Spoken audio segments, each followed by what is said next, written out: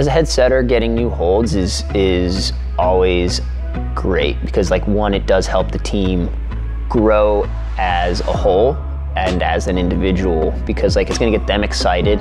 Uh, they're gonna want to set with those new holds. They're gonna want to try new things out uh, and maybe learn something along the way. The move that I wanted to set was a, a 360 campus move where you're spinning out and facing away from the wall and then having to continue that movement all the way around. I set the climb with the, a series called the Brachiopods and uh, an extension of the Gastropod series from Rock Candy.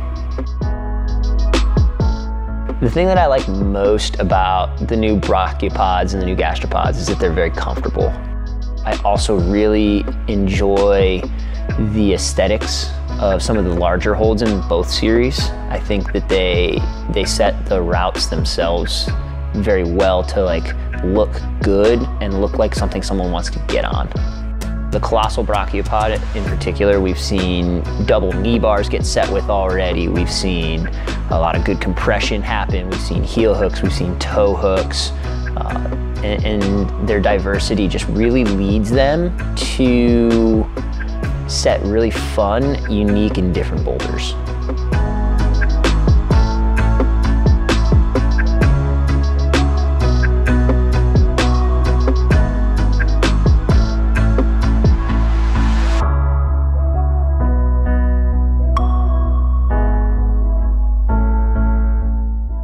So the climb that we set uh, at the end of the day is something that I'm really excited about. Uh, I think that it came out very different than what I had anticipated it to start as, but the movement that came out of it was unique and fun and cryptic and something you have to think about, but isn't at the end of the day necessarily something that's super hard or undoable for everyone, and, and that is what I really wanted to see.